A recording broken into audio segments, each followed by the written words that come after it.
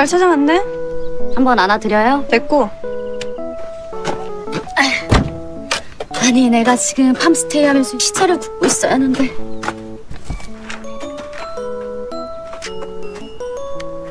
아마 안아줘? 됐고요 왜 하필 여기로 오셨어요? 암만 급해도 저라면 여기 안 와요 깜빵이네 시댁이냐? 그럼 난 깜빵 설마. 깜빵에서 남이 해주는 밥을 먹잖아요 여긴 우리 어머니가 다 해주죠?